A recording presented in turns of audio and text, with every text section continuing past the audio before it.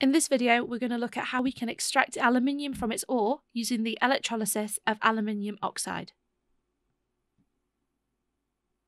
You need to know how aluminium is extracted and also why it's done in this way. Aluminium is found in the ground as part of an ore called bauxite. Remember, an ore is just a rock that contains enough of a metal compound that it's financially worth us extracting it. The metal compound that's found in bauxite is aluminium oxide, which we can extract pure aluminium from. Lots of metals can be extracted from their oxide using carbon.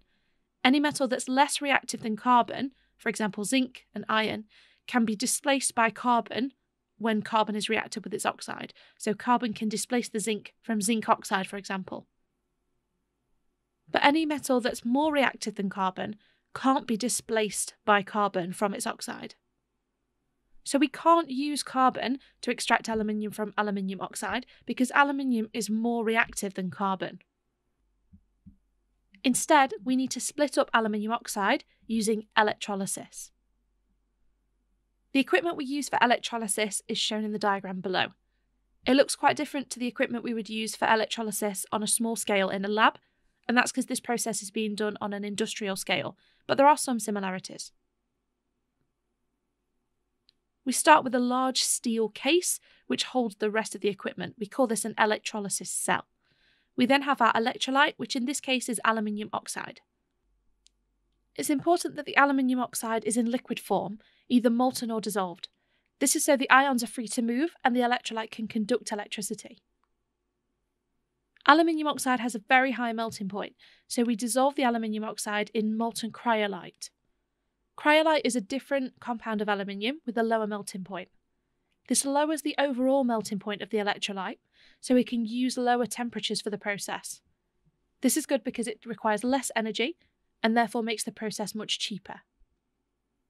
As always with electrolysis, we need to use a DC power supply.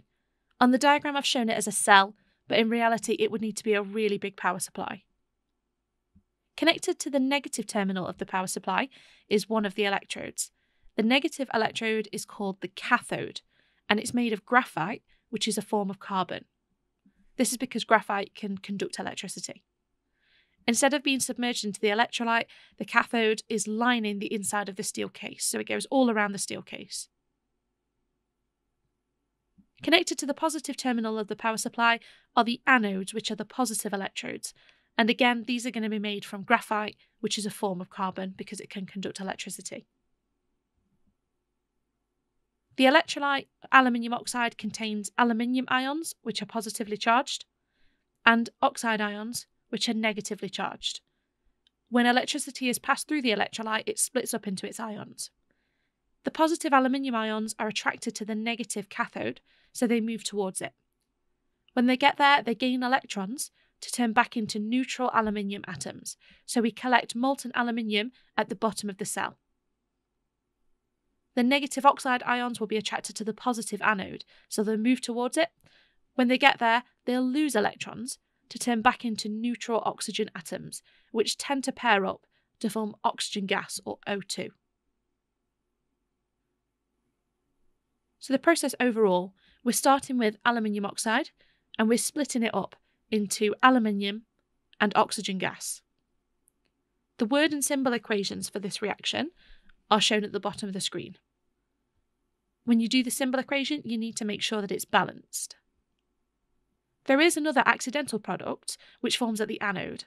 The anodes are made of carbon, and because it's very hot in the electrolysis cell, the carbon reacts with the oxygen that gets made there, creating carbon dioxide. This causes the anodes to wear away over time, so we have to replace them every so often. This adds to the cost of the process. Here are some practice questions for you to have a go at. Pause the video and give these questions a try. The ore that contains lots of aluminium oxide is called bauxite. We can't use carbon to extract aluminium from aluminium oxide because aluminium is more reactive than carbon, which means carbon can't displace it from its oxide. The electrodes we use are made of carbon, specifically graphite. We dissolve the electrolyte in molten cryolite to lower the melting point. This means we can use lower temperatures, which requires less energy and is therefore cheaper. There are two products of electrolysis of aluminium oxide. We produce oxygen at the anode and we produce molten aluminium at the cathode. The word equation for the process is aluminium oxide splits up to produce aluminium and oxygen. The anodes need to be replaced regularly because carbon anodes react with the oxygen that gets produced there, forming carbon dioxide, which causes the electrodes to wear away over time. Thank you for watching. I hope this video has been helpful for you, and I'll see you in the next one.